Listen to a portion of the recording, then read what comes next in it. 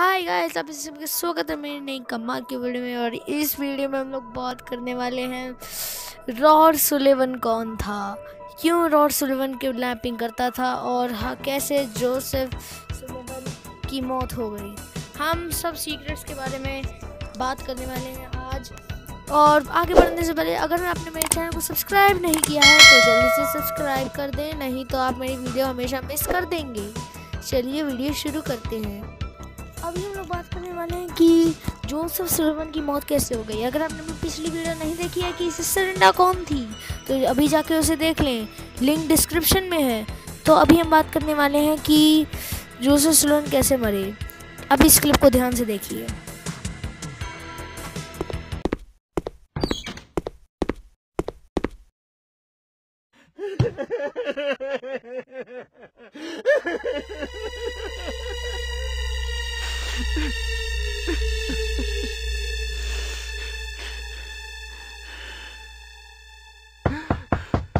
Rod, do you live here? Rod, are you at home? You have to go back to her. You still don't understand, please. You have to come back. Oh, this has an explanation, Rod. Rod! Well, in that case, I'll leave this to you. It has been written by your own mother.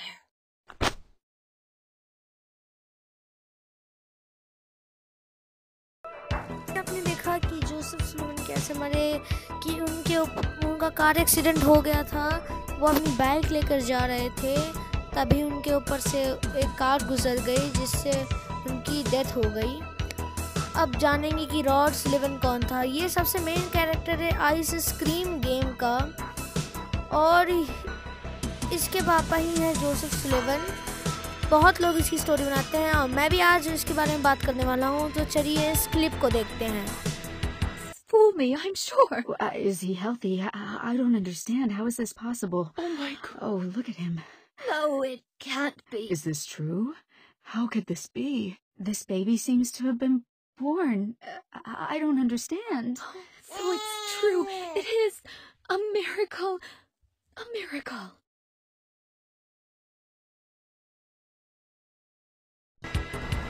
तो अभी आपने जो clip देखी जिसमें वो छोटा बच्चा था, जब दरअसल वो जो छोटा बच्चा है, यही है रॉड स्लेवन ये पैदा हुआ था एक नन से, और वो नन थी हमारी सिस्टर मैडलाइन और उर्फ़ ईवल नन चलिए अब बैक चलते हैं, थोड़ा पीछे 1939 जब रॉड के पैदा होने के एक साल पहले। चलते हैं, चलिए। सो हम आ चुके हैं 1939 में जब रॉड बॉर्न नहीं हुआ था और ये डेविल वेल की बातें चालू थी।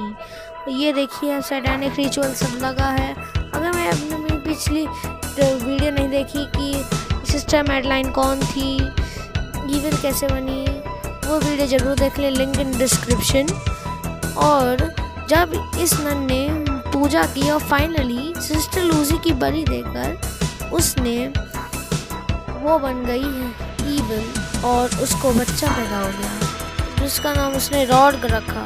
1940 उसके चार साल बाद ही रॉड चोरी हो गया, जो कि जोसेफ स्लोन के पास चला गया, और उसके बाद वो अपनी माँ को बिल्कुल भूल ही गया था, जैसे मानी। वो अपनी माँ को जानता नहीं था। उसकी माँ उसको बहुत बार बुलाती, उसको कम से कम 25 बरस बीत चुके थे।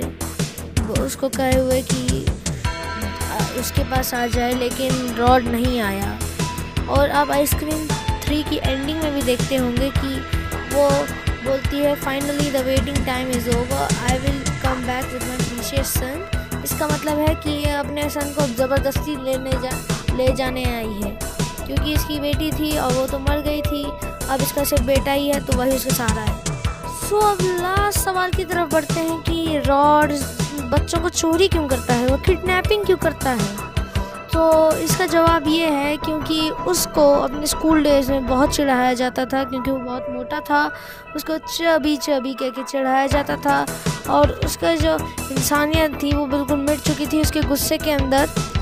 और तभी वो बच्चों के, बच्चे चुराने लगा क्योंकि क्या पता वो उनके उनके स्टूडेंट्स के उन स्टूडेंट्स के बच्चे निकले, क्योंकि अब उन- उसको बदला लेना था अपनी अपनी इस इंसल्ट का तो वो इसी वजह से बच्चों को किडनैप करने लगा। होप ये वीडियो आपको पसंद आई होगी। लाइक शेयर लाइक शेयर और कमेंट ज़रूर करिएगा। चैनल को सब्सक्राइब ज़रूर कर दिए, दीजिएगा। Till there take care and bye bye